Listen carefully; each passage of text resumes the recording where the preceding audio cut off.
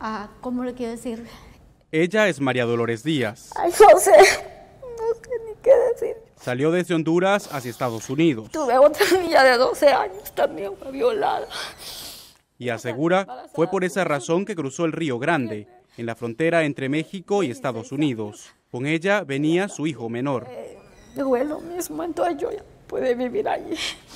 Fue detenida y procesada por las autoridades. Tras varios días de detención, le autorizaron a permanecer en territorio estadounidense con orden de presentación ante un juez. Y me dijo, igual, si, si, si ustedes dice, de- desobedecen, dice la, la cita, entonces nosotros los vamos a deportar.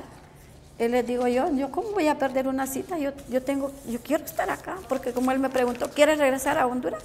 Les digo, yo no quiero regresar a Honduras. Pero esa no es la realidad para todos los inmigrantes que atraviesan la frontera.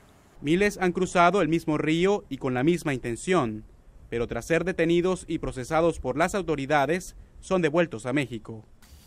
En ese momento, muchos se enteran que existe un protocolo de protección de inmigrantes, también conocido como permanecer en México, una norma binacional que se implementó a partir de enero de este año.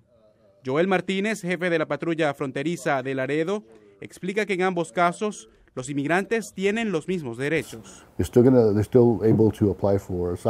Todavía pueden solicitar asilo, solo que esta vez lo harán un poco más al sur. Sin embargo, el protocolo establece que los funcionarios de la patrulla fronteriza tienen la discreción para definir si la persona o unidad familiar puede permanecer en Estados Unidos.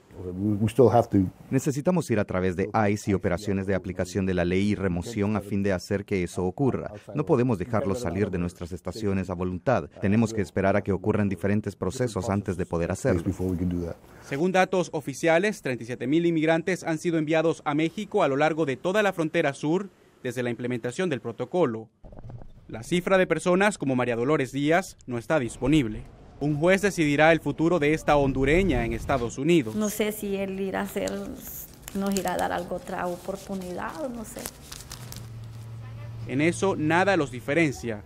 La misma incertidumbre viven quienes esperan por el mismo proceso, pero en México. Jorge Agobián, Voz de América.